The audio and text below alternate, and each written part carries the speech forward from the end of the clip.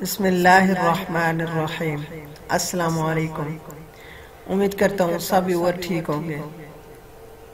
جو شخص حالت مرد میں یہ دعا چالیس مرتبہ پڑھے، اگر مرا تو شہید کے برابر ثواب ملے گا۔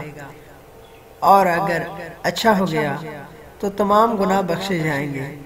وہ دعا یہ ہے، لا الہ الا انت، سبحانک انی کنت من الظالمین۔ دوبارہ سن لیں لا الہ الا انت سبحانک انی کنت من الظالمین اس دعا کو جو شخص چالیس مرتبہ پڑھ لے مرض کی حالت میں اگر وہ ٹھیک ہو گیا تو اس کے سارے گناہ بخش دیے جائیں گے اگر وہ اسی مرض میں وفات پا گیا تو اس کو شہید کے برابر ثواب ملے گا امید کرتا ہوں یہ میری ویڈیو آپ کو پسند آئی ہوگی اور اگر پسند آئے تو پلیز میرا چینل ضرور سبسکرائب کریں۔ السلام علیکم ورحمۃ اللہ وبرکاتہ۔